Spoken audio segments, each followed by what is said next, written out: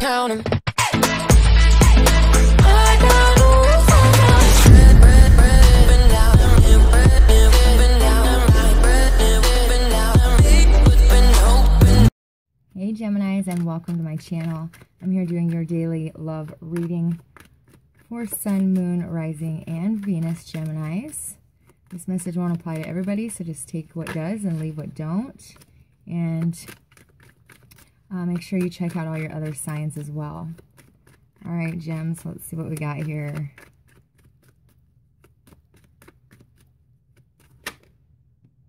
All right, the Wheel of Fortune is your first card out.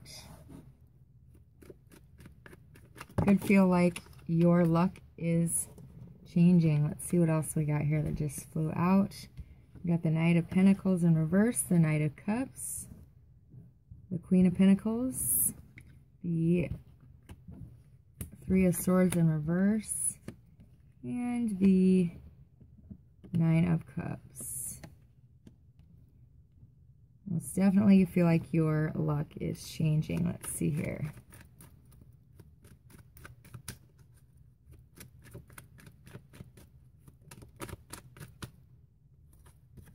All right, we got temperance.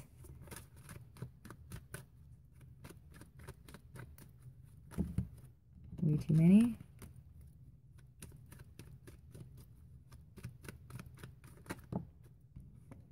Nine of Pentacles.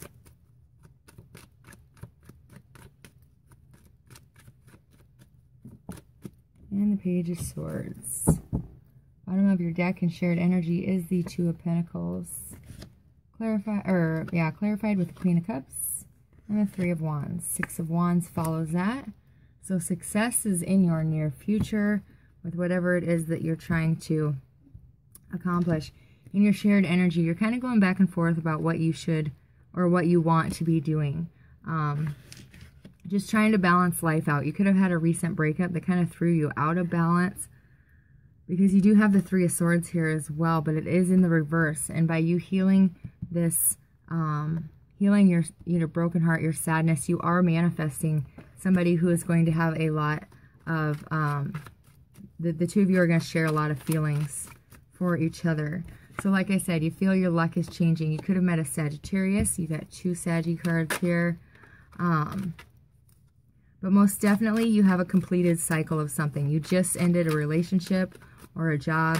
Something just ended um, because the Wheel of Fortune is a cycle of something, a complete karmic cycle. And now you have a new beginning here. Um, you're taking some time, though, um, before you have this new beginning, just to really take the time to heal, to be you, to do what it is that you've wanted to be doing, to be independent, to gain that confidence, um, and somebody could want to move something forward and you're uh, you're just taking a little bit of extra time not wanting to offer just yet or too soon is what I'm hearing. So you're really just taking some time to yourself. Um, both these cards are going within taking the time to spiritually heal um, before you move forward.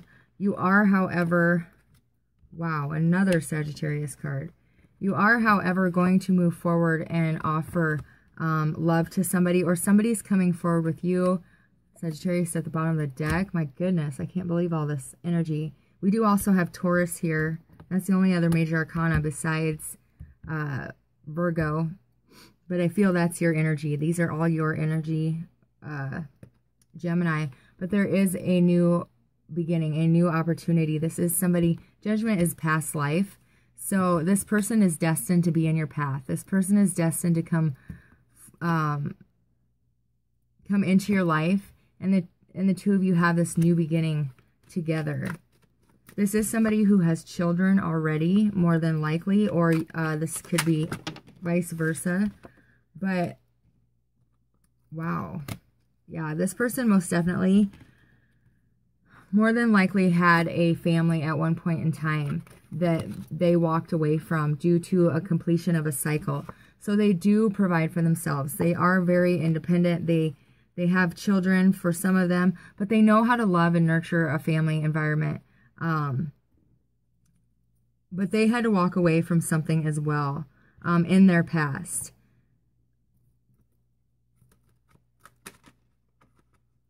Why is this Three of Swords here in reverse? They also have been through a lot, a lot of heartbreak in their past, but it brought them to a place, look at that, they are a very strong person, very strong-willed. Um, they have been through a lot of heartache that they walked away from. They're very connected to the divine as well, um, and a business owner. This is a very uh, specific, detailed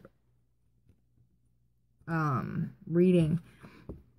They are at a crossroads themselves. They know that you could make them happy, and you know that you could make them happy, or they could make you happy, but you're both just making plans. But both of you are feeling this hesitation. Both of you are scared. You could have both just gotten out of relationships where you both were hurt by separate people. I don't feel this is a connection that has been together in this lifetime because judgment is past life um, in this deck for me anyways. Uh, both of you are wanting, in the outcome, you have Temperance, the Page of Swords, the Nine of Pentacles. So both of you are wanting to gain this uh, balance and healing before you jump too fast. Yep. Wow. Another card of healing. You want to heal and find that balance before you move forward too fast. This is, however, going to move forward with a lot of success. Um, Prince of Swords and Page of Swords. The two of you need to open up communication. Um, communication is key and will bring you that success. Um, they could be keeping an eye on you from a distance or you them. Um, but this person really just honors your beauty, honors your, your, your pureness, your honesty, your, your, you know, your beauty inside and out. Um, wow, look at that. Truth. No more confusion by the end of the day. No more confusion about where this is going to go. Um, look at that. King of Cups is clarifying your bottom of the deck with the Two of Pentacles. So you're going back and forth about whether or not to trust this person with your heart. The Wheel of Fortune is clarifying the Queen of Cups. So now we have the King and Queen. Wheel of Fortune here twice. Things are changing. Things are moving together. Um, manifesting, coming out of the cold. Starting a new cycle. Um, Nine of Pentacles is under that. Holy cow. So yeah, this is a this is going to turn into a uh, relationship, a very passionate, loving relationship. Um, right now, you're kind of hesitating because everything seems to be changing. Everything is different. Um, and you just want to make sure that you have that inner peace, that inner balance, uh, knowing what you want and going after it. But this most definitely is a beautiful blessing in your life, Gemini, that you are going to move forward and make this love offer um, too. So, all right, let's get your card of advice for the day. Gemini.